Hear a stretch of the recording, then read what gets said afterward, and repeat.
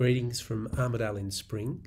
Just giving you the heads up about the date for next phase 2024. It's happening at St Peter's Cathedral in Armidale on Friday the 3rd and Saturday the 4th of May.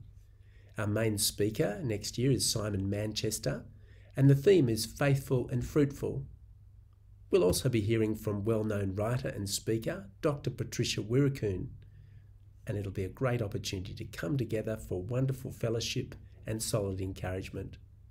So put that date in your diary now, 3rd and 4th of May, and stay tuned early next year for further details so you can register for next phase 2024.